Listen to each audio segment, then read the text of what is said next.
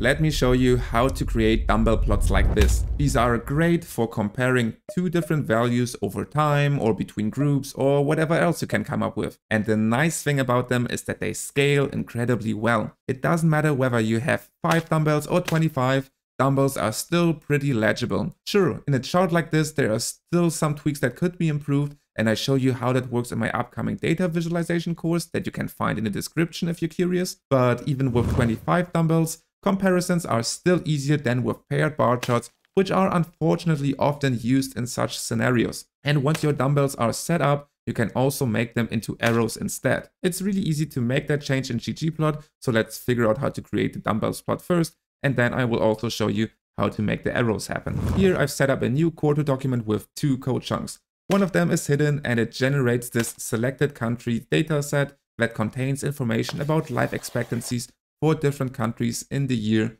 1952 and 2007. The underlying dataset that was used to extract this data is the Gapminder dataset from the Gapminder package. You can find the full code that generates all of this via the link in the description. Now, to create a dumbbell plot, we need two parts. One part is the lines of the dumbbells and the other part is the point of the dumbbells. So we are going to send our dataset to ggplot and map the x-axis to the life expectancy and the y-axis to the country. This will be the same for both the lines and the points that we have to plot. And then we are going to start out by plotting the points. Here we want to have them differently colored depending on the year, so we map year to the fill aesthetic. But as we have used fill instead of color, we actually have to set shape to 21 to see the colors. Ah, nice, there they are. But they're still kind of hard to see. So let's increase the size and also let's change the outline color and increase the outlines stroke. Nice, we already have one part of the dumbbells done. Time to connect the dots. See what I did there? This is an educational video and we're connecting the dots. Magnificent, isn't it? Anyway, creating the lines couldn't be easier. Just throw in geom_line and make sure that this layer comes before the points layer.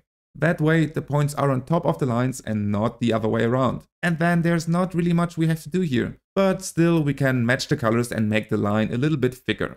Awesome, we have created dumbbell plots, but don't tune out just yet. Let's be honest, this still looks like crap. Maybe we should put in a little bit of effort into this. So to make this into a respectable chart, let us change the theme and we should increase the font size so that we can actually read the thing. While we're at it, let's use a nicer font too. Alright, this looks more respectable, but we can throw in a little bit of more low effort tweaks like adding labels.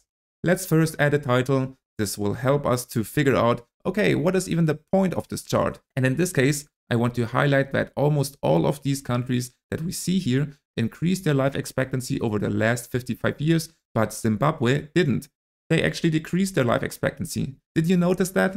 Did you notice that the colored points are in the opposite order for Zimbabwe? If not, good for you. You have learned something here because this is something you have to watch out for with dumbbell plots. Sorting is especially important for this chart type. Otherwise, it's very easy to miss that the order of the colored points changed, especially if Zimbabwe would have been right in the middle of all the other dumbbells. So let me show you a way to avoid that mistake. But it's also good that we have nailed down our insight that we want to generate with this chart. So let's continue with our labels and add an X label and throw out the Y label because everyone knows that these are countries. In any case, let's just also make sure that the legend title is spelled with a capital letter.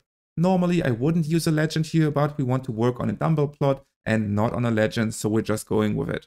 But if you want to learn my favorite strategy to avoid huge legend, check out the video that should pop up right about now. Next, let's kick out a lot of grid lines. There's way too many of them. And then we can do the same thing on the x-axis. Well, look at that. The plot looks much less cluttered now. Therefore, what we need to work on next is sorting this mess. And before we do that, let me just throw in my usual reminder to hit that like button if you enjoyed this video. Thank you for that. Now let's sort the dumbbells. And to do that, we have to sort our dataset accordingly. So let's take our dataset and first, let us sort the rows by using arrange to sort the rows by country and then by year. This makes sure that for each country, we always get first the data for one year and then the data for the later year and not the other way around. This will be important for the calculations later on. Now, if you paid attention carefully, you notice that it already was sorted like this in our initial dataset, but I threw in this arrange function in there anyway, to make this very obvious by hard coding the row order because this is something we need. Next, let us compute how much the life expectancy changed for each country by computing the difference of the life expectancy. Here, diff is just a function that computes the difference of two numbers. But of course, for this to work, we need to make sure that mutate works separately for each country. So we're going to use a grouped mutate. Using this change in life expectancy, we can sort our country column by reordering its factor levels with FCT reorder and our newly computed column. Now all we have to do is to use this new dataset instead to sort our dumbbells. Ah, this doesn't look super great. We sorted by the change in life expectancy, but what we really wanted to do is to just make sure that all countries that increase their life expectancy are grouped together and all that decrease their life expectancy are grouped together as well. So what we actually want is a new column that is helpful to order the dumbbells and then we actually just take the change of life expectancy and multiply a negative 1 or a 1 with the first value from the life expectancy vector. Since we sorted the rows, we know that this first value corresponds to life expectancy in 1952. And if we look at this new dataset, we can see that our new column now has the value from the first year inside of it. And in the case of Zimbabwe, this would be a negative value here because it is the only country that decreased its life expectancy. Therefore, we need to sort our country by this new variable, and now this looks much better. Here, our dumbbells are sorted in ascending order of the first year value, but also Zimbabwe is at the lower end of the chart because its order of the points in the dumbbell is different. Similarly, we could also sort by the second year by simply using the second entry in our life expectancy vector. And here we could also see how important this if-else part is. If we leave out this part, right now we're lucky and nothing changed because the second value actually fits well into the correct sorting.